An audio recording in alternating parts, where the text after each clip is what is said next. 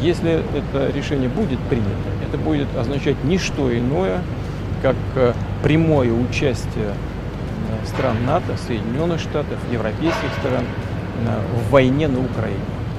Это их прямое участие. И это уже, конечно, существенным образом меняет саму суть, саму природу конфликта. Это будет означать, что страны НАТО, США, европейские страны воюют с Россией.